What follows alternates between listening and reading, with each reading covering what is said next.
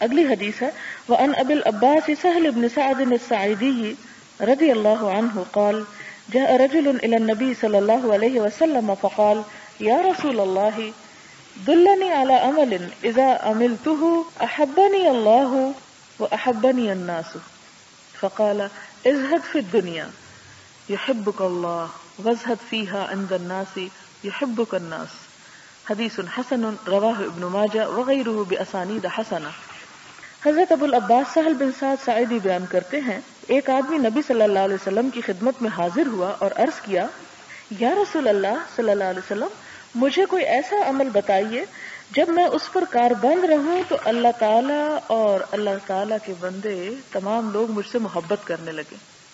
आपने फरमाया, दुनिया की तरफ़ रगबत ना करो, अल्लाह पाक तुमसे मोहब्बत करेगा। यानी तुम, जब तुम दुनिया के मुकाबले में अल्लाह को चाहोगे वल्लजीन आमनु अशद हुब्बन लिल्लाह। तो क्या होगा? अल्लाह ताला तुमसे मोहब्बत करेगा। यानी अल्लाह की मोहब्बत चाहते हो तो फिर अल्लाह से मोहब्बत भी करो। और उन चीज़ों से एराज करो जो लोगों के पास है। उन चीज़ों से एराज करो, यानी उन पर नज़र न रखो। उनकी तमन्ना न रखो, उनकी लालच न रखो जो दूसरों के पास है। लोग तुमसे मोहब्बत करेंगे। यानी ज़ाहिर है कि ऐसा दोस्त या ऐसा इंसान, जो इंसान से मोहब्बत न करे, इंसान की चीज़ों से मोहब्बत करे, और जो चीज़ देखे उससे मांग बैठे तो ऐसे इंसान तो दूसरों के लिए एक बेजार कुन चीज़ हो जाएगा। फरमाया कि लोगों की चीज़ों से दिलचस्पी ना रखो, लोग तुमसे मोहब्बत करने लगेंगे। क्योंकि आप देखें कि हर शख्स ये चाहता है कि दूसरा उसकी जात को अहमियत दे, उसके माल को नहीं। क्योंकि अगर कोई दोस्ती माल की वजह से है तो वो खालिश नहीं हो सकती। कोई ताल्लुक माल की वजह से है, या किसी जाहो जलाल की वजह से है, या दुनिया की किसी गरज की वजह से है तो ऐसी दोस्ती पायदार भी नहीं हो सकती और वो पुरखलूस भी नहीं हो सकती। इसलिए कि फिर वो तो उस चीज़ के खात्मे के साथ ही खत्म हो जाएगी।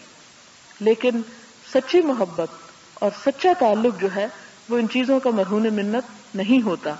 लिहाजा फरमाया कि अगर लोगों से तुम मोहब्बत चाहते हो तो फिर उनकी चीज़ों से मोहब्बत ना करो, उनकी चीज़ों पर नज़र ना रखो। और आप देखें कि किसी के बारे में भी अगर आपको ये पता चल जाए कि ये मुझसे इसलिए मिल रहा है कि मुझसे फलां फ़ायदा उठा ले तो क्या आपके दिल में उसकी कदर होगी? यानी ये तो इंसानियत के दर्जे से गिरी हुई बात है।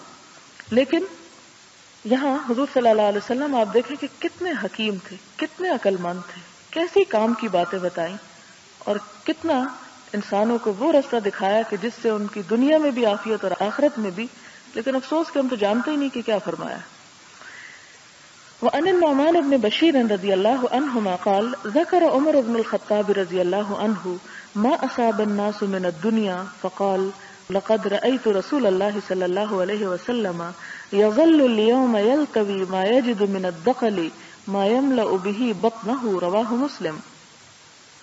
हजरत नुमान बिन बशीर बयान करते हैं कि उमर बिन खत्ताब ने जिक्र किया कि लोगों के पास ज़्यादा मालो दौलत आ गया है। यानी लोगों के पास बहुत कुछ है। पर आपने फरमाया, नुमान बिन बशीर कहते हैं कि उमर बिन खत्ताब ने ज़िक्र किया कि लोगों के पास बहुत माल आ गया इस पर उमर बिन खत्ताब ने कहा रज़ी अल्लाह कि मैंने रसूल अल्लाह वसल्लम को देखा कि दिन भर पेचो ताब खाते रहते थे और आपको रद्दी खजूर भी दस्तियाब न होती जिससे आप अपने पेट को भर सकते। यानी ऐसे हालात भी आप पर गुजरे कि भूख की वजह से पेट में बल पड़ते रहते, लेकिन आला खजूर तो दूर की बात, हकीर सी खजूर भी न होती थी कि जिससे आप अपना पेट भर सकते।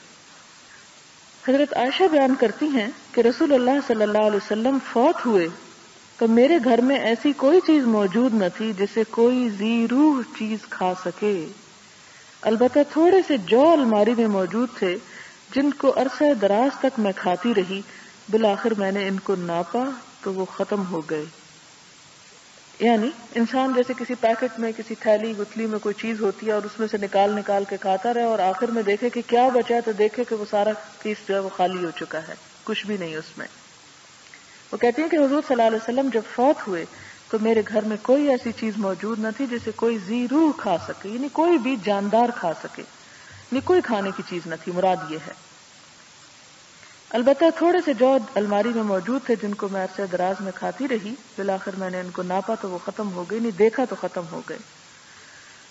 फिर इसी तरह अगली हदीस हज़रत अमर बिन हारिस है, जो जुवारिया बिन हारिस के भाई हैं। और आपको मालूम होगा कि हज़रत जुवारिया जो थी, वो कबीला बनुल मुस्तलिक से थी। ये गुलाम होकर आई थी, लेकिन हजूर सल्लल्लाहु अलैहि ने इनको आज़ाद करके इनसे निकाह किया था। और जब इनसे निकाह हो गया तो जो साहबा कराम के पास, इनके कबीले के सौ लोग जो थे, वो गुलाम थे। उन्होंने उन सबको ये कह के आज़ाद कर दिया कि अब इन लोगों की हुजूर सल्लल्लाहु अलैहि से रिश्तेदारी हो गई है और हम हुजूर के रिश्तेदारों को गुलाम बना के नहीं रखेंगे। तो आप देखें कि एक एक आपकी शादी के पीछे लोगों की कितनी भलाई थी। ज़ाहिर अगर आप शादी नहीं करते तो उनके वो सौ लोग आज़ाद ना होते। और इस्लाम के लिए लोगों के दिलों में कहा मोहब्बत पैदा होती? वो सौ आज़ाद हुए तो उनके दिलों में इस्लाम से और हजूर वसल्लम से मोहब्बत पैदा हुई, वो लोग करीब आए और इस तरह इस्लाम को तकवीत हासिल हुई। तो यहाँ पर उनके भाई कहते हैं कि अलैहि वसल्लम ने अपनी वफात के वक्त दीनार और दिरहम गुलाम लौंडी गरज कोई चीज़ छोड़कर नहीं गए। हाँ आपकी सफ़ेद खच्चर जिस पर आप सवार हुआ करते थे, वो पीछे थी। और आपके हथियार जिससे आप जिहाद करते और वो ज़मीन जिसको आपने मुसाफिरों के लिए वक्फ कर रखा था, कि ऐसे लोग जो बाहर से आए और जिनके पास कोई खाने पीने का सामान न हो, जिनको वहाँ से दिया जाए, उनके खाने का एहतमाम किया जाए। तो ये चीज़ें कुल आपकी कायनात थी। हज़रत खब्बाब बिन अरक बयान करते हैं कि हमने रसूल अल्लाह सल्लल्लाहु अलैहि वसल्लम के साथ हिजरत की। हम अल्लाह की रजामंदी के मतलाशी थे। बस हमारा सवाब अल्लाह के नज़दीक साबित हो चुका है। बस हम में कुछ लोग जल्दी फौत हो गए और अपने सवाब से कुछ न खाया। इनमें मुसब बिन उमैर हैं जो जंग उहद में शहीद हो गए और एक चादर छोड़ गए। बस हम जब उसके साथ उसके सर को ढांपते थे तो उसके पाँव ज़ाहिर हो जाते और जब हम उस चादर के साथ उसके पाँव ढांपते थे तो सर नंगा हो जाता था। तो रसूल अल्लाह सल्लल्लाहु अलैहि वसल्लम ने हमको हुक्म दिया कि इसका सर ढांप दें और उसके पाँव पर कुछ इजखर घास रख दें।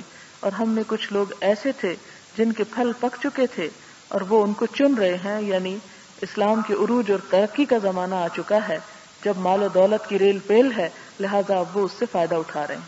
इस चीज़ की तरफ़ इशारा है। यानी कुछ लोग ऐसे हैं कि जो अपने फलों से, यानी बाग तो लगा गए, फल नहीं खाए, और कुछ हैं कि खा रहे हैं।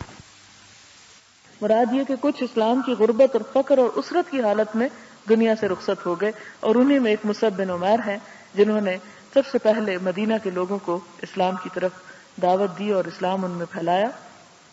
और जिनकी कोशिशों से डेढ़ सौ लोग मुसलमान हुए, जिन्होंने हजूर वसल्लम से बैत की। अगली हदीस है कि हज़रत सहल बिन साद साइदी बयान करते हैं कि रसूल अल्लाह वसल्लम ने फरमाया कि अल्लाह पाक की निगाह में अगर दुनिया की एक मच्छर के बराबर भी इज़्ज़त होती तो वो उसमें से पानी का एक घोंट भी किसी काफिर को न पिलाता। यानी अल्लाह ताला के नज़दीक इन सब चीज़ों की कोई हैसियत नहीं। अगर किसी के पास दुनिया भर का भी माल जमा हो चुका है और अगर उसके दिल में ईमान नहीं और उसका अमल नेक नहीं तो वो खुदा के हाँ कोई कदर कीमत नहीं रखता। तो यहाँ पर इन सारी हदीसों से एक और बात जो बहुत ईमान को जगाने वाली है ईमान अफरोज पता चल रही है, वो ये कि कितने कमाल की बात है कि साहब कराम ने इतने कम वसाइल में इस्लाम की इतनी खिदमत की। हमें तो कोई काम करना तो पहले हम कहते पहले ये हो जाए, ये इकट्ठा हो जाए, ये मिल जाए, वो जमा हो जाए, फिर हम खिदमत करेंगे, फिर हम कोई बड़ा सा काम करेंगे। लेकिन वो इस बात के इंतज़ार में नहीं रहे, जो कम से कम वसाइल भी उनको मैसर थे, उसी में उन्होंने इस्लाम की खिदमत की और यहाँ तक वक्त आ गया कि ईरान और रूम फतह कर डाले। और ऐसे ही लोग जो कुर्बानियाँ देना चाहते हो, वही दुनिया में कुछ कर जाते हैं और दुनिया में भी नाम कमाते हैं और आखिरत में भी। लेकिन अगर हम सिर्फ़ सहूलतों का ज़िक्र करते रहें और सिर्फ़ इस बात के इंतज़ार में बैठे रहें कि अच्छा अच्छे हालात होंगे तो फिर हम कोई अच्छा काम करेंगे तो वो फिर शायद इंसान के पास कभी मैसर ना आए। क्योंकि इंसान के बारे में तो ये आता है ना कि अगर उसको एक वादी सोने की मिल जाए तो दूसरे की तमन्ना करने लगे। वो तो कभी भी इत्मीनान ना पाए। अगली हदीस है, हज़रत अबू हुरैरा फरमाते कि मैंने रसूल अल्लाह सल्लल्लाहु अलैहि वसल्लम से सुना, फरमाते थे, खबरदार बेशक दुनिया मलून है और जो कुछ दुनिया में है वो भी मलून है, सिवाय अल्लाह के ज़िक्र के और इन चीज़ों के जिनको अल्लाह ताला महबूब जानता था और सिवाय आलिम और इल्म सीखने वाले के। यानी ये तीन चीज़ें जो हैं, ये उससे बाहर हैं, यानी लानत से बाहर है। कि जो दुनिया और जो कुछ दुनिया में है, वो सब मलून है। मलून का मतलब होता है अल्लाह की रहमत से दूर है, या अल्लाह ताला की दिलचस्पी की चीज़ें नहीं। सिवाय अल्लाह के ज़िक्र के, यानी जिस दिल में भी अल्लाह का ज़िक्र होगा, अल्लाह की याद होगी, वो लानत से बचा रहेगा। और फिर उन चीज़ों के जिनको अल्लाह ताला महबूब जानता था, इससे मुराद ये है कि वह मावाला हो, यानी जो अल्लाह की याद दिलाने वाली हो या अल्लाह के करीब करने वाली हो, यानी दीगर नेक अमाल की तरफ़ इशाद इशारा है इसमें।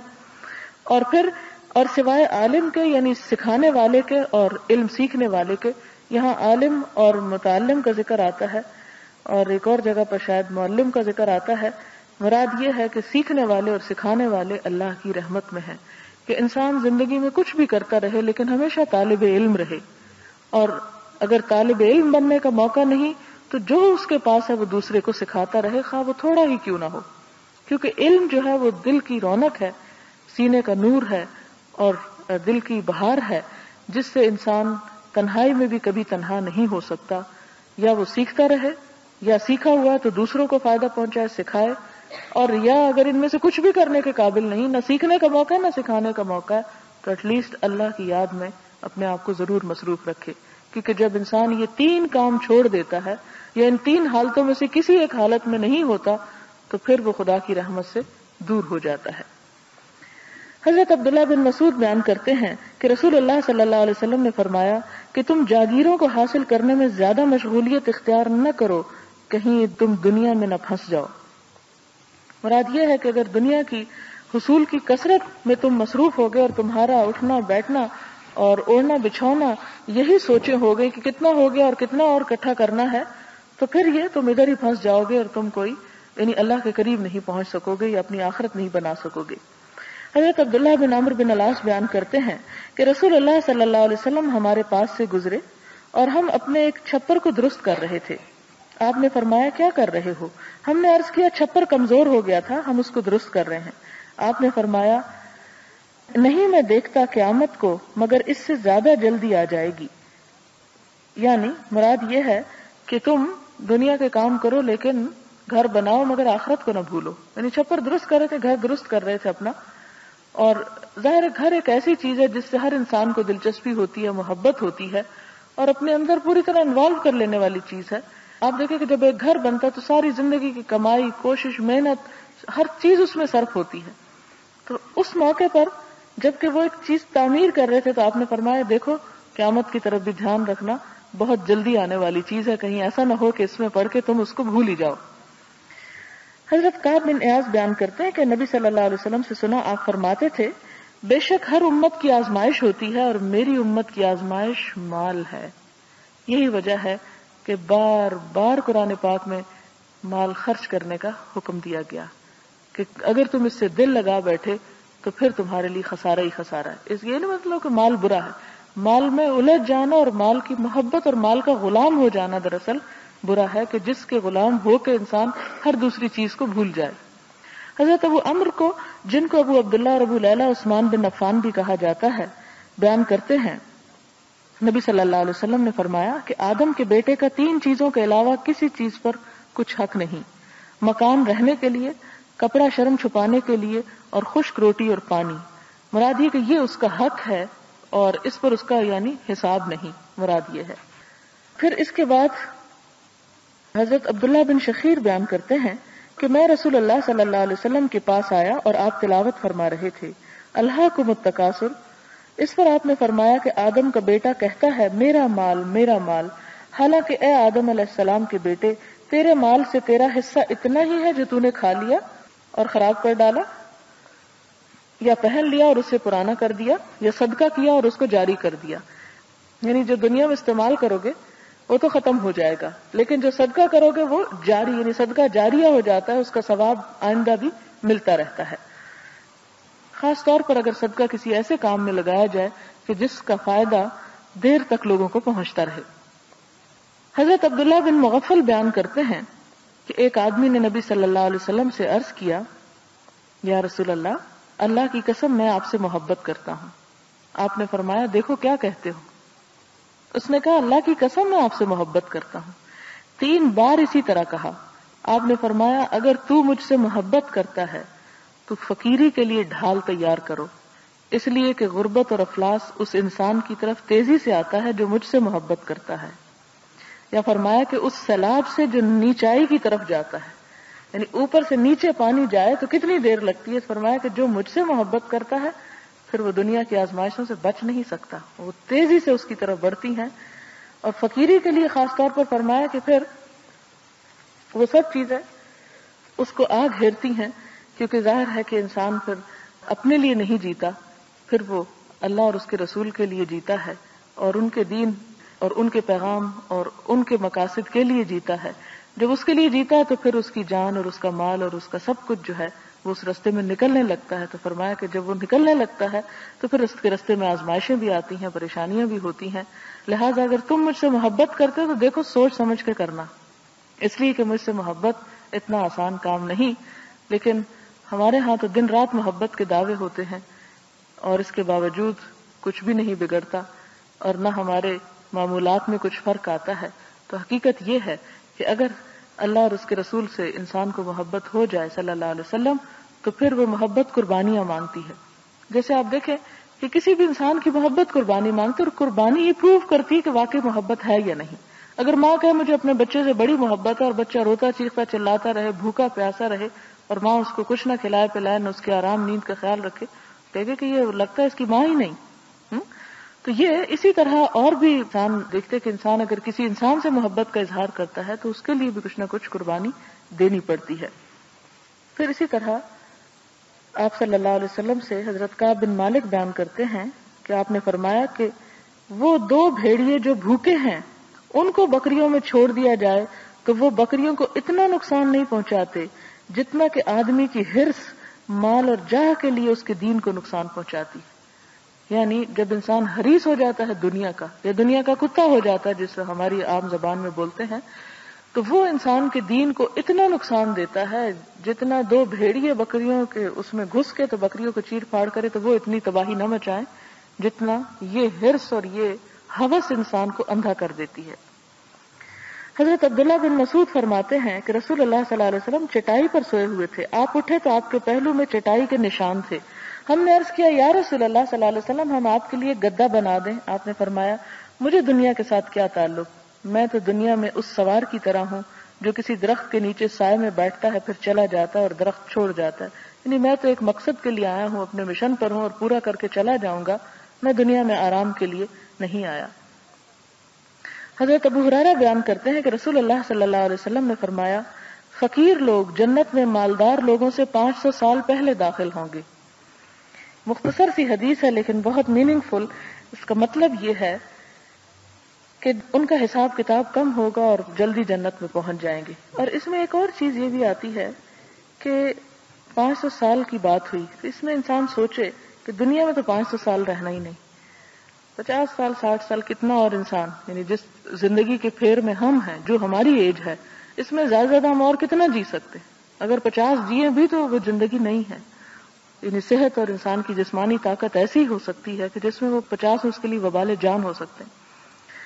तो ये है कि इंसान अगर कुछ इस दुनिया के लिए बनाता है तो साथ उस जगह के लिए, उस आखरत के लिए भी बनाए, उसके लिए भी सोचे और उसके लिए भी अपनी कोशिशें, मेहनत और अपना माल जो है वो लगाए, क्योंकि वहाँ पर माल काम नहीं आएगा, बल्कि फक्र फिर भी इंसान को बचा जाएगा।